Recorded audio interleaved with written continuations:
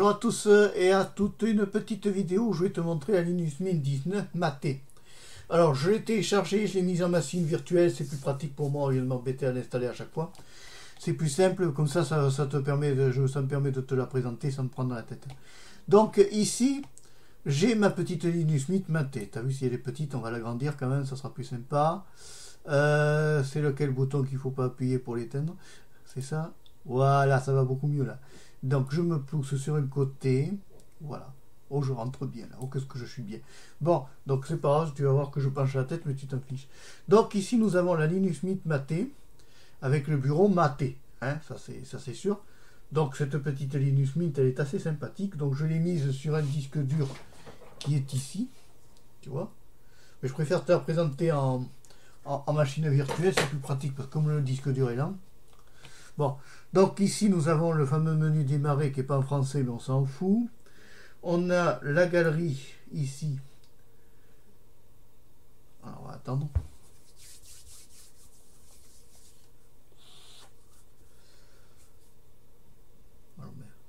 Bon, alors, quand tu veux, le software manager, voilà, donc ici nous avons la bonne vieille galerie pour faire notre recrutement de, de logiciels. Hein, voilà. Ensuite, ici, on a donc notre euh, terminal.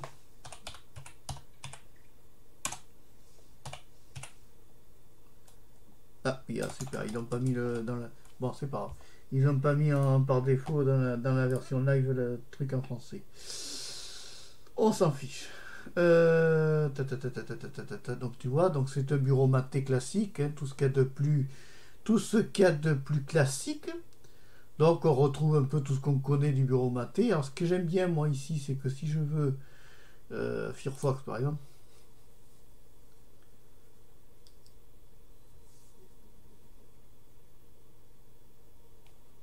oui bien sûr, on va aller chercher la version.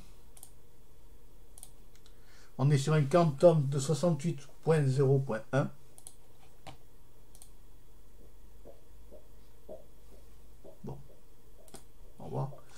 Ensuite, ici, on a les, documents comme ça, tu vois, sur la maté. Là, on a l'équivalent du poste de travail de Windows, tu vois. Donc en fait, quelqu'un qui part de Windows ne sera pas perturbé sur maté.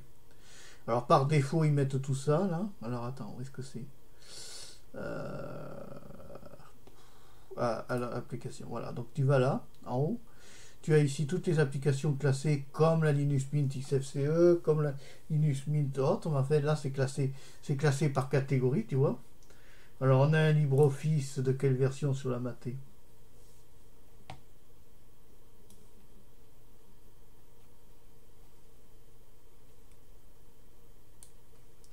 On a sur quelle version de la Maté?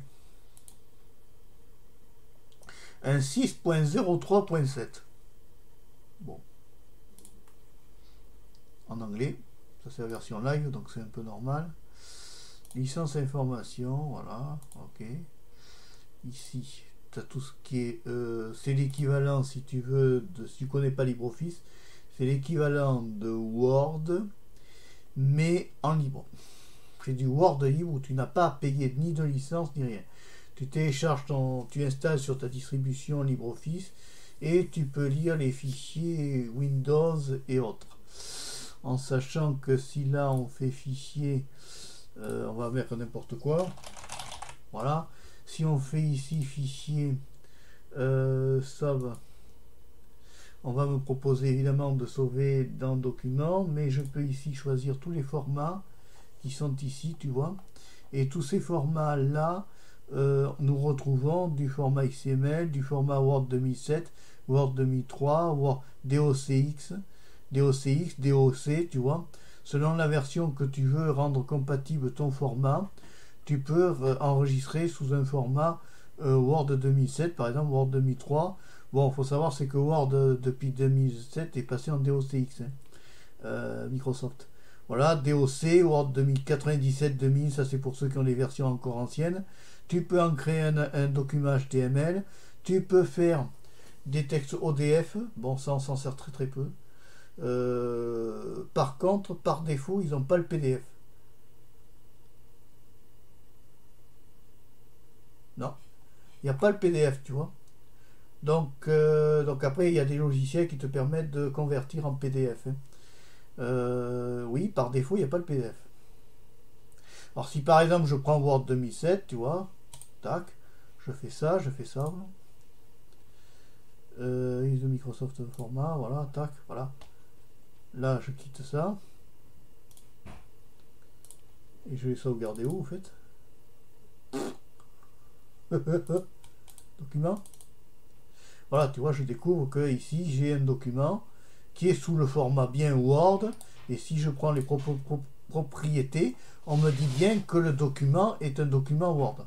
Donc tu peux utiliser, donc ceux qui sont réticents, ceux qui sont, je me redéplace, tu sais, je suis très sous, ceux qui sont réticents à passer à Linux parce qu'ils ont des documents Word, Word, Excel, PowerPoint, Access, ça peut être lu par, euh, par LibreOffice, puisque par défaut, LibreOffice enregistre en euh, Word, en format de traitement de texte pour euh, Monsieur Microsoft. Ça, c'est bien. Donc, alors, attends, je me redéplace, t'as vu, je, je, suis souple, hein. souple. je me remets en bas. Bon, ça, on a vu ça. Alors, ici, ici, dans la partie administration de la Linux Mint, Mat, Maté, bien sûr, puisque nous sommes sur du Maté, nous avons évidemment la partie installation, c'est normal puisque je suis en version live. Nous avons aussi euh, la possibilité d'avoir des, logiciels, c'est-à-dire que tu peux, si tu veux télécharger tes logiciels, si tu veux télécharger tes logiciels, c'est plus simple d'utiliser logiciel. Donc NOM, c'est quoi ça? C'est euh, c'est quoi comme truc? C'est quel truc déjà ça? C'est Mint Install. Mint Install. Donc c'est même pas le logiciel, c'est Mint Install, tu vois. C'est la version 7.9.9 sur la version Maté. Donc eh ben, on retrouve tous les logiciels principaux que l'on connaît, VLC bien sûr. Et quand tu veux installer, ben, c'est simple, tu fais install. Et ça se débrouille. En fait, je suis sur la version live, voyons, on rigole. Ah, ça s'installe. ça, je savais pas. Ça, je savais pas que je pouvais installer un fichier euh, sur une version live. Euh, oh, oh, oh, Et on va s'amuser. On s'amuse, on va aller le chercher. On va voir quelle version est le VLC. On va le laisser s'installer. Voilà. Notch, on va le lancer. Alors, c'est quelle version le VLC en question? Attends, faut pas que j'en mette trop parce que sinon je vais saturer. C'est une version 3.01 Voilà. Donc tu vois, c'est facile. Hein. Pour, installer, pour installer un paquet, tu fais comme ça. Voilà. Alors après, ici, si tu vas dans... Euh, si tu vas dans Je me pousse... si tu vas dans Je me pousse... Euh, si tu vas dans les Flatpak, tu retrouves tout ce qui est Flatpak, Telegram, Discord, euh, tu vois, tout, ce qui, tout ça c'est Flatpak. Euh, donc pense-y, si tu cherches Audacity, un autre truc d'Audacity, c'est quelle version ça? ORG, alors ça je sais pas. je préfère les officiels dans ces cas-là, j'évite, j'évite trop les, les, versions Flatpak parce que j'ai pas trop confiance. Moi j'aime mieux quand je mets par exemple ici Audacity, voilà, là j'ai la version j'ai la version réelle d'Audacity euh, en 10 ah, c'est là les versions 2.2.1.1. Voilà, donc ça c'est la partie d'installation des logiciels. Ensuite, tu as ici donc Computer qui te permet de voir que, alors si je parie que si je fais ça et que je fais ça, comme malgré que je sois en machine virtuelle, je ne sais pas s'il m'éjecterait. Euh, c'est pas grave. Donc là ici, file system, on retrouve toutes les, toutes les versions des, dossiers. Hein. Voilà, help, ça c'est pour le secours. Alors évidemment, pour chaque truc, on est sur une version de Kaja de 1.2.2.1. Ensuite, qu'est-ce qu'on n'a pas vu? On n'a pas été voir, alors ça c'est la partie administrative, ça c'est la partie de préférence pour le Linux Mint Maté. Donc après, tu peux changer toute l'apparence de ton Linux Mint. Euh, nous avons évidemment un logiciel qui est quand même maintenant connu, c'est un GIMP 2.8 qui est quand même assez puissant. Et bien pour les retouches photo de base, qu'est-ce que c'est que GIMP? Ben, C'est la copie de monsieur. C'est l'équivalent, si tu veux, de monsieur Photoshop. Voilà. mais en. Ensuite, qu'est-ce que nous avons d'autre? On a, tu vois, le, PC marche mieux, j'ai augmenté la RAM, ça lui a fait du bien. Il, a, il avait besoin de RAM. Euh, menu éditeur. Alors ça, je sais pas ce que c'est, j'ai pas été voir. Alors, oh, c'est sympa, c'est plein de couleurs. Donc tu vois, Internet, c'est quand même bien les machines virtuelles. Ça permet de tester les distributions sans se casser les pieds à les installer à chaque fois. Euh, simple scan, tu vois, voilà, c'est game. Alors en game, il n'y a pas grand chose. Euh, point vidéo. Alors là, qu'est-ce qu'il y a? Euh, Ah oui, i de menu. Alors là, si je fais ça, je coche en vert. De sauve. Voilà, donc automatiquement j'ai activé ça. Ce qui me fait déplier ça. Ouais, c'est sympa ça. Bon, moi j'ai toujours bien aimé, c'est vrai, les moutures Mint. Euh, j'ai du reste Mint, euh, elle est là. Je montre. Elle est ici, la Mint. Je l'ai mis sur un disque dur. Je la garde, je la garde en stock. Ça, si un jour j'ai un pépin, je reviendrai facilement. Là, je te fais la présentation depuis la machine virtuelle, c'est plus simple. Alors, LibreOffice, là, là, comme toujours, je vois aussi que LibreOffice intègre un truc de dessin. Fais voir le LibreOffice Draw, on va le regarder un peu. Alors oui, là c'est complètement un autre monde parce que si tu regardes bien ici, par exemple, tu fais ça. Le petit bonhomme hein, mousse. Non, c'est pas ça. Donc ici, tu vois, euh, on peut l'agrandir, tu vois, faire la grosse tête. Voilà, ça c'est un truc vraiment pour le dessin, c'est pas un truc de, sérieux, tu vois, tu peux faire n'importe quoi. Euh, c'est vraiment pour le dessin. Ça c'est vraiment... Euh, voilà, c'est LibreOffice Draw. C'est une version de combien? C'est une version 6.07.3. Voilà, alors là, c'est au revoir. Pareil, exit. Non.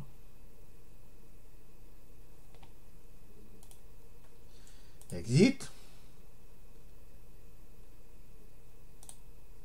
Ah, c'est dans ça, d'accord, si tu veux. Bien, dans les préférences ici. Alors, administration. Dans la partie administrative de la maté, euh, tu trouves bien sûr Synaptic, Software Source, Software Manager, tu retrouves la date et Date Manager, sur Install et Date. Préférence, tu trouves quoi? Euh, Software Source, oui, ça c'est pour régler la. Dans Software Source, tu, gères la partie source de ton logiciel, c'est-à-dire de ton miroir. Pas pour te regarder dans, la, dans le miroir. Hein. C'est juste le miroir de logiciel euh, qui est basé sur ou en France ou en Europe, enfin tu choisis. Hein. Voilà, ça je te laisse faire le choix avec ta. Il y a un firewall qui, un firewall qui est fourni par défaut. Qu'est-ce qu'un firewall? C'est les portes de ta maison qui se ferment. C'est comme ton ordinateur. Tu mets sur ton ordinateur des portes qui se ferment et ça te protège de ton PC. Voilà.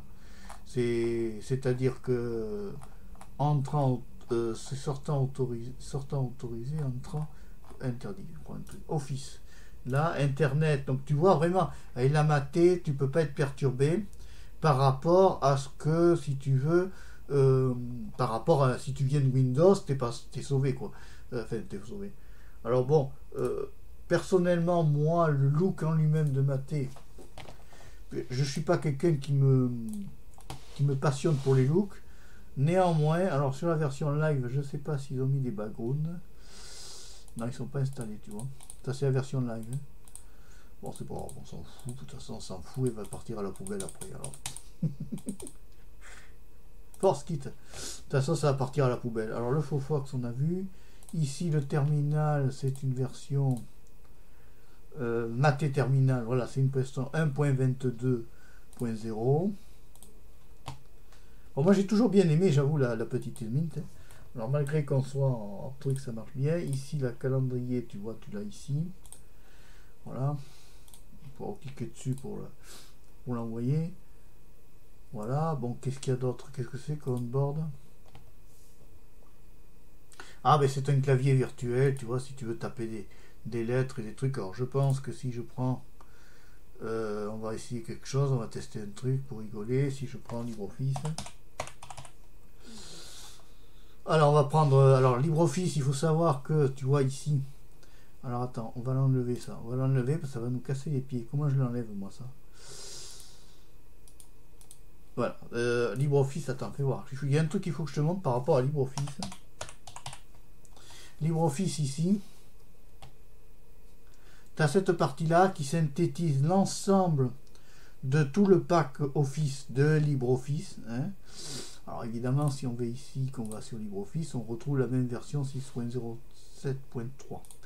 Voilà, donc ici on a Writer pour le traitement de texte, tableur, présentation équivalente PowerPoint, draw painting, dessin, mathématiques équivalent, alors Excel, c'est ça, calque, c'est l'équivalent d'Excel, et ça c'est l'équivalent de, euh, alors je me rappelle plus, il y a Word, Excel, PowerPoint, Access, voilà, pour les bases de données. Bon, moi personnellement j'aime bien Writer, je me sers plutôt de Writer et Impress. Alors Impress, l'avantage d'Impress, c'est que c'est les copies de PowerPoint en libre, donc tu retrouves des présentations toutes prêtes ici, tu vois, dans Impress. Euh, c'est assez sympathique. Moi j'aime bien m'en servir. Voilà, mais je crois que c'est. Je crois que de mémoire, ces, ces présentations, c'est quelle version ça de. Voilà, alors tu tapes ça et après tu crées ton diaporama. Euh, tu vois, tu peux le visionner là, voilà. Tu peux créer ton diaporama et le présenter. Euh. Alors on est sur quelle version là? Bon, Ça doit être la même. Hein, oui, 6.07.3, ça n'a pas changé. D'accord. Donc exit, euh, cancel. Non, alors mais je me couvre toujours. Qu'est-ce que j'aime la France. J'adore être français. Euh, bon, euh, qui qui dit ça? Ah oui, c'est toujours mon clavier virtuel. Alors ça, c'est pour vraiment les personnes qui ont des problèmes, euh, qui veulent pas, qui, qui, ont par exemple qu'une main ou un truc comme ça. Ils tapent comme ça et ça marche très bien donc j'en ai pas besoin. C'est ce qu'on appelle de l'accessibilité pour personnes handicapées. Car Linux est accessible aux personnes handicapées. Voilà ce que je peux dire moi sur cette euh, Linux Mint Maté euh, que j'ai installé sur un PC qui fonctionne bien, qui est à jour et que voilà. Enfin, j'ai pas voulu. Voilà.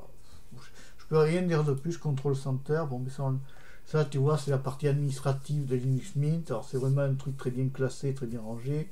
Mais enfin, on retrouve à peu près les mêmes choses sous Manjaro. Hein. Euh, sauf que là, le, gestionnaire de, mise à jour de, Mint est quand même plus efficace. Moins, bug moins, bug pas par rapport à celui de Manjaro. Voilà, euh, je devais le dire. Driver Manager, c'est pour ceux qui ont besoin de, de déployer ou de, de charger des drivers, tu vois. Voilà, Driver Manager, c'est pour ça. Donc, dans ces cas-là, tu charges des drivers et ça permet de te les mettre à jour. Voilà. Alors, l'avantage des versions live, c'est que tu es sur des, automatiquement en route. En, connecté en route. Donc, tu n'as pas à taper de mot de passe quand tu testes une distribution tu es automatiquement l'autre. Fais l'aide tout de repositionne. Oui, bon, mais ça, c'est pas grave. C'est une version live. Voilà. Alors, tu peux évidemment installer ta Linux Mint. Après, une fois que tu es content, que tu as testé, tu cliques sur Install et tu installes ton, système. Voilà, là, ici, c'est la partie où tu vas régler les mises à jour. Hein. C'est la partie du gestionnaire de paquets. Alors évidemment que sur une version live, il y aura forcément des mises à jour on va voir. Mais logiquement, tu as des mises à jour à chaque fois avec Mint. Voilà, euh, new version de UDAT Manager. Donc il faudrait mettre à jour. Si par exemple, quand tu as installé ça, que ça s'affiche comme ça, tu t'affoles pas, tu fais appli update, euh, application de la mise à jour, et ça te le mettra à jour. Voilà, et ici tu es, voilà, UDAT Manager, bon c'est pas, mais là je suis sur une version live, donc c'est normal. Voilà, bon, voilà ce que je peux dire moi sur la Linux Mint Maté. C'est une distribution que j'aime bien personnellement parce que j'aime le bureau maté, ça c'est moi, ça me regarde. Honnêtement, bon, j'aime bien le bureau maté, donc ça ne me dérange pas, j'aime bien ça, ça me plaît. On a des paquets quand même relativement assez à jour, très peu de, pas peu ou pas de bugs. Euh, un gestionnaire de mise à jour qui marche du Ruby sur long. Donc si tu débutes, tu peux passer de Windows à Linux Mint Maté. Tu n'auras aucun souci, tu seras pas perturbé par si tu veux par ce, système d'exploitation et ça ira très bien. Allez, si tu as aimé la vidéo, je. Alors attends, on va quitter la machine virtuelle, ce sera plus simple. Euh, shotgun. C'est vraiment pratique les machines virtuelles, tu vois. Maintenant, je me prends plus la tête.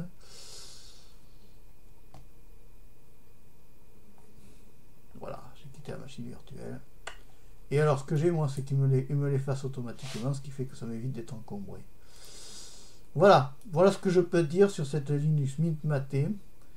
Moi elle me plaît bien, donc euh, je l'ai bien mise sur, le PC, hein, sur un disque dur, je la garde la garde en stock. Bon, je ne vais pas te parler systématiquement des mises à jour parce que je me rends compte que le trois quarts ne regarde pas toujours les mises à jour et que ça ne vous intéresse pas trop. Mais je vais faire comme ça d'autres vidéos de tests de plusieurs distributions euh, amusantes avec bien sûr notre ami le, le, GNOME logiciel puisqu'il est formidable, le, système de, de machine virtuelle. Voilà. Allez, si tu as aimé la vidéo, tu peux la liker, tu peux aussi t'abonner à Marc Pécho 3, la chaîne de la diversité. Je te dis au revoir, à bientôt et merci d'avoir suivi la vidéo jusqu'au bout. Bye bye.